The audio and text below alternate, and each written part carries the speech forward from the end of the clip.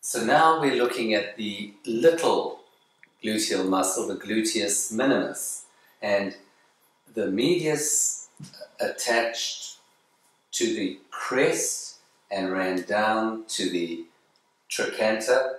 The minimus is just a smaller muscle. It also attaches in this kind of curve to the inside of the iliac crest.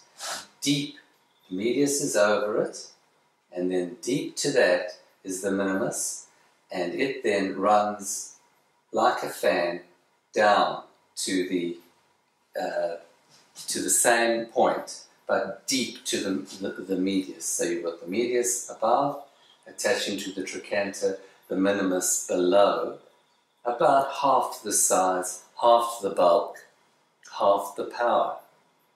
Its functions are the same as the medius.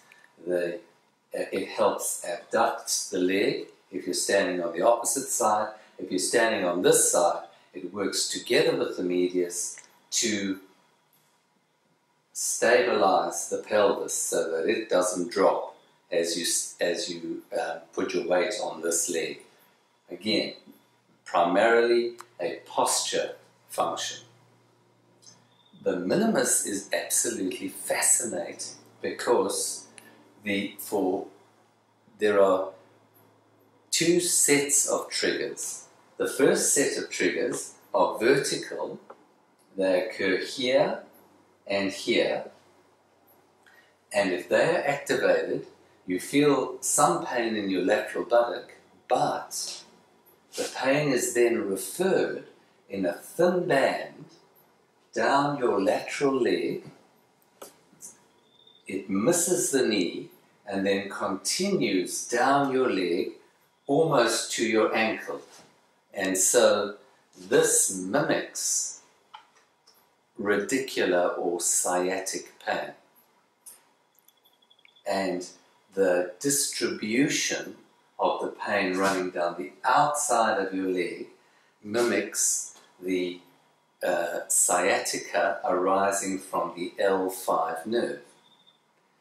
Then there are a second set of triggers, and they run along, very similar to medius, they run along the top of the muscle, and these refer into the buttock and down the back of the leg, ending in the mid calf.